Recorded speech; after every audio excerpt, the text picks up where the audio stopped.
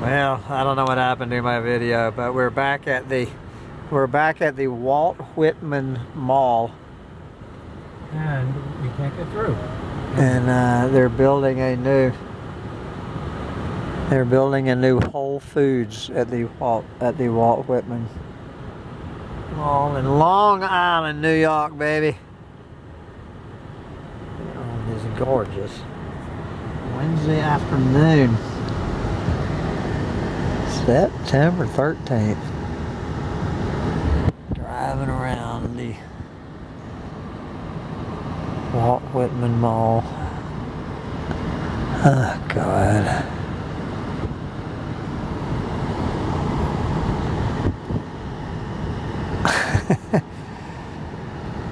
We're stuck in Mall Hill. Good God. This could be anywhere. And uh, we could be in San Antonio, Texas right now. We could be in Nam Lake City, Florida. Long Island, New York. It's all just one big Walt Whitman Mall from here on out.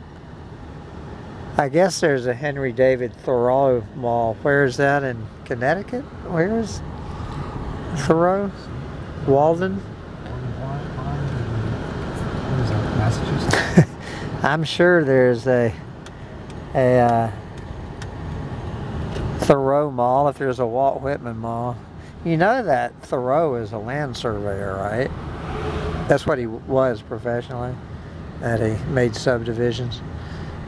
oh God.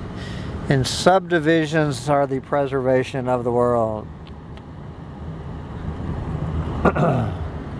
Good God. it never All the way ends. up to the It never ends. the Supermarket. All the way down. Jesus Christ. Sam's, Macy's, Bloomingdale's. Waste recycling. Uh, they have one of those in Austin, South Park Meadows, where, you know, Willie Nelson used to have his Fourth of July picnic. Is now the, the yeah really the biggest shopping mall in South Austin, Texas.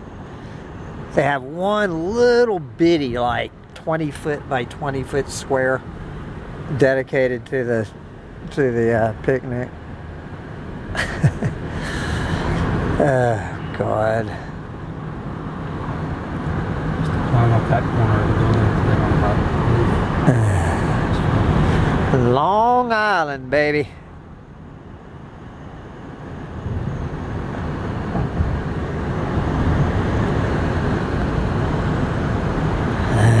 Anyway, looks just like the neighborhood I grew up in. And there we are.